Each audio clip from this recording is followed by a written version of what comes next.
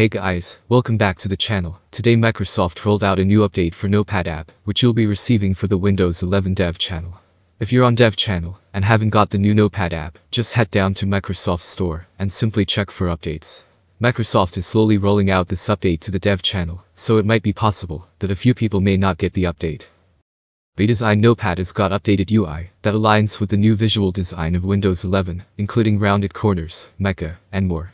Also, the new Notepad has got dark mode feature. By default, Notepad will adapt to your system theme preferences, but you can change this option yourself in the brand new settings page, which is the new home for font options as well. To help users be more productive, Microsoft introduced a redesigned find and replace experience, and also added support for multi-level undo. This was another top community feature request. In this preview version, there are a number of known issues that will be addressed in future updates. This includes issues affecting keyboard access keys usage when switching between different input languages or while using Japanese IME, and under certain circumstances, you may notice unexpected behavior when using shift-click to select text or when scrolling. Microsoft is also continuing to improve performance when opening very large files.